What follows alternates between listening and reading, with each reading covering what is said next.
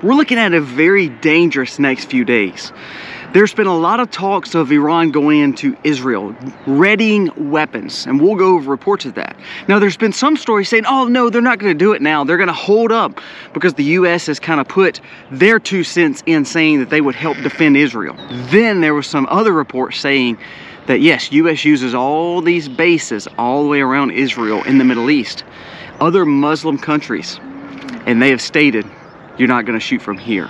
So now we've got a situation where it's almost a standoff. Iran is still using proxies even today into Israel. So what's going to happen in the next, what, 48 hours, the next two or three days, like they're warning? I don't know. Let's jump into it and how this could be the start of something huge.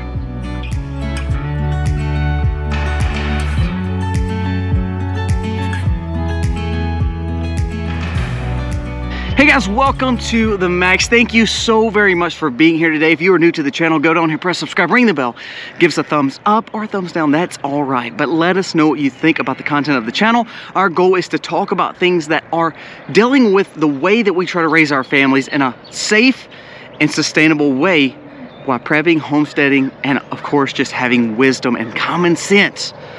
That's one thing we're lacking so much of, I think, in America. Now, before we get started, remember to follow me on X or Twitter if you can. We're going to be doing a giveaway. This giveaway is over hundreds of dollars worth of value. It costs nothing to just follow us over there. We're going to be talking about that in the next coming days of actually what we're actually going to be giving away. So please, if you haven't yet, go follow us over there. Also, subscribe here, follow us here, and both of those will be entered into a giveaway. I can't wait to be able to give that away. There's not a lot of followers of us on Twitter, so you have good chances to win this. So go over there, subscribe. Now let's talk about today's video. There's an article from Zero Hedge that says Iran readies over a hundred cruise missiles for possible strike against Israel. Multiple European airlines have canceled all flights in and to and from Iran, and flight trackers have also indicated that skies above Israel are clear to civilian aviation. We don't want to be in the realm of this area, and I'm glad that flights are doing that just to make sure that everybody is safe as possible. Now, what that does, though, is it heightens the alert for Israel. Now, Israel has had a lot of people panic buying, a lot of people trying to stock up on goods because they see that this is an imminent threat. Now, there was just a report, I think yesterday, stating, well, Iran has put the halt on doing this. They're not gonna they're not going to attack. They're hey, it's not imminent anymore because Americans' involvement. Okay. I heard that too and I said, "Well, that's good. At least at least with just stating that we're going to be there, we may not have a an attack." Now, also Iran has he they have actually introduced the fact of, "Hey, we could see nuclear threats here." Now, I don't, you know, we've heard for a long time that Iran does not have that capabilities, that they're working towards it. Well, now they're starting to threaten it. Now, here, let me, let me explain something to you, though. Guess what happened? All of a sudden, Russia shoots off a missile, and it's, I guess, goes, you know, over the spot it's not supposed to go over, but ultimately it went towards the Middle East. That almost caused a panic of why is Russia shooting a missile, you know, intercontinental missile that shouldn't have been going that way towards that area? Were they trying to, you know, start something? I, I don't know. What I'm saying though is there is such a small little window of a spark that could cause something major in Iran and Israel situation. Now, Iran did say that they're not going in yet. They did warn of this weekend, the next 48 hours.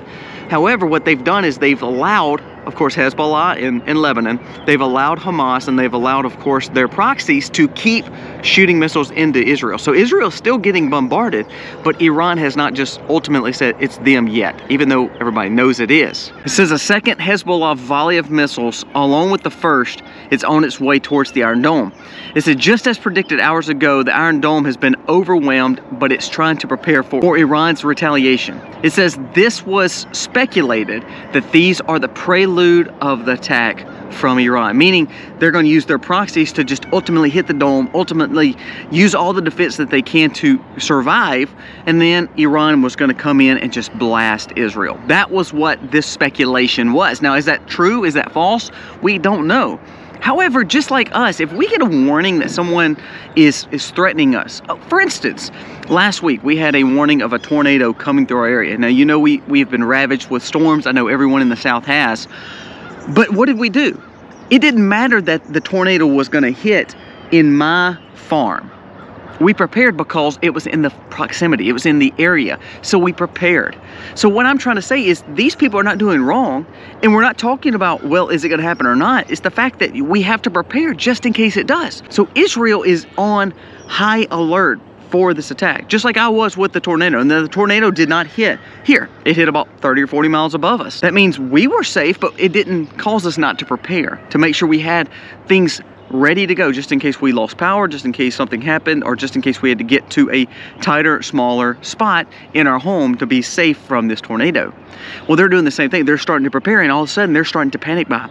Israel is seeing massive loads of people going to banks, going to groceries, and getting the stuff out to keep their family safe. Another update said that Israel hospitals have been put on high alert and on home command awaiting for an imminent attack. The U.S. officials told Axios Iran has sent a message to the U.S. and several Arab countries saying if they interfere, U.S. will also be attacked in their bases. Now, are we are we seeing early signs of of this War Three kind of mentality and talk of another major regional war in the Middle East? Now, we talked the other day about this. We've always had issues with Iraq and Afghanistan and other areas, proxies. When you talk about Iran and Israel, though, that's the biggest players. Other than Saudi Arabia, you're talking about the biggest players in the Middle East. What are we going to see?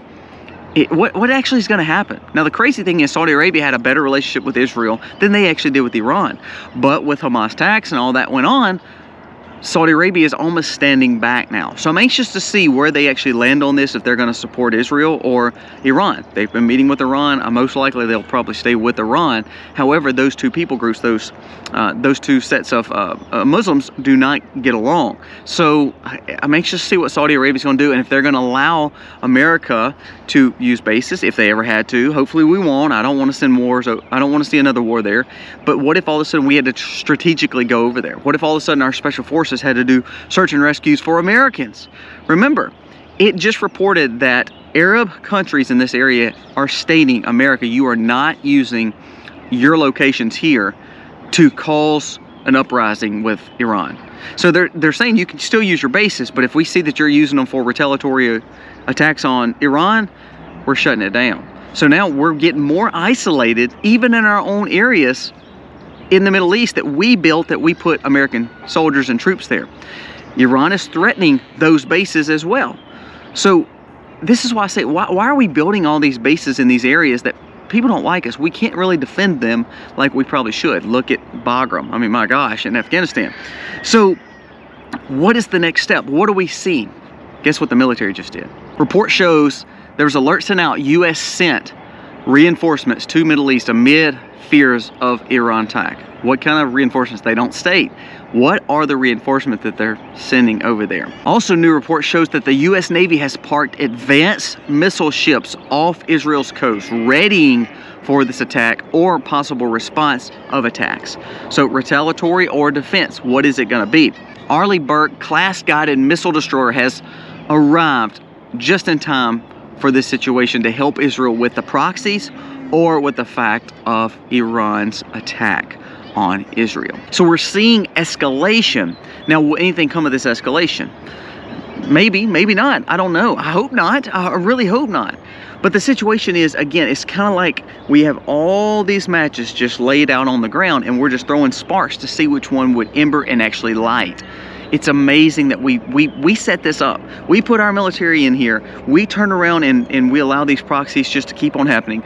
Israel, of course, is, is moving into to Rafah, handling the Gaza situation. The problem I have here is Iran gained power more and more and more under the current administration. They were also pretty strong in Obama's administration. We kept them at bay when it came to Trump and when he, of course, bombed Soleimani. Now, am I saying that we should be doing drone attacks? No. But what I am saying is we have to keep an order to the world. It does not take us actually putting our military in involvement across the world. But now, because we have troops, we have uh, laymen, we have workers over there, what are we to do if all of a sudden this major attack, major attack happens? Are we going to have another Afghanistan removal where we're trying to withdraw thousands upon thousands upon thousands of people from these areas? And then, then it puts us in a catch-22 because now we're having to go in there with special forces to try to get these people out. That's what I, I feel like we put ourselves in these situations, and I don't understand why we want to go to war so bad just for the dollar, just for power. Uh, whatever it may be, this is a dangerous time. And again, we're looking at the starts of World War III if we're not careful. And Iran's not really backing down. They are saying that they're not going to, to, to go in right now, but it's imminent. Israel is saying, look, we're, we're going to defend ourselves. So if you have two powers that are not backing down, what's the next step? Going back to the Russia situation with the missile, it says Russia just chose quite the wrong moment to conduct a test firing of a ICBM rocket from their southern Air Base. It says the rocket was reportedly seen soaring in the high atmosphere in parts of North Iraq and Iran. Triggering concerns was Iran is beginning to attack. Now, was it accidental? I, I don't know. Was it on purpose? I don't know. Here, here's what I'm saying.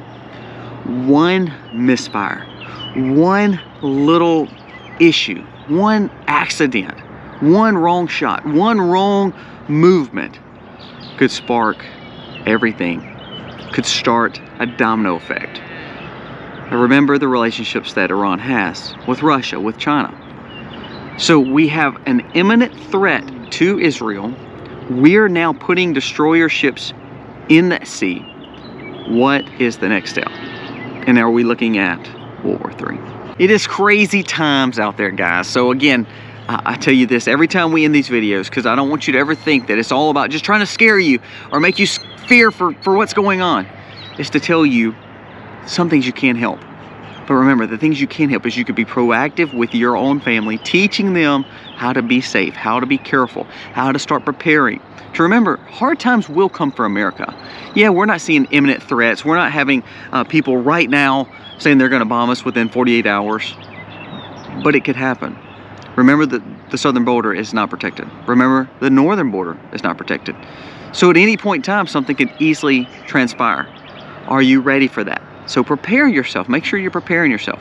Also, you have to be spiritually minded to deal with this. If I read all these stories day in and day out, and I shared it with you day in and day out, and all this just went through my mind all the time, it would be depressing. I would be stressed, anxious, and depressed all the time.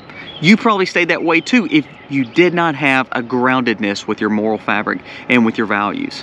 Where it comes back to spiritually protecting yourself. Make sure that you are guided by God and, and Christ through this to say, you know what? No matter how bad it gets, I can't control everything, but I can control some things. And so the things I can control, I'm going to be proactive in. I get to see the sun sunrise over this beautiful lake that I can't wait to fish today after we farm. I got to go fix a fence. I don't want to fix a fence, but I want to keep my cows in. It allows me to say, you know what? There are things that I can do that are proactive that keeps me busy, keeps my mind off that, and makes me thankful to not take the things I have for granted. My kids are out gardening with me yesterday. They'll be out gardening with me today because we're all in on gardening right now because it's the big season for us. That is what life's about. So the reason we make these videos is not to scare, to make you fear, to make you anxious, is to make you think, okay, I've got to be thankful for what I have and what I can do to make sure they're kept safe.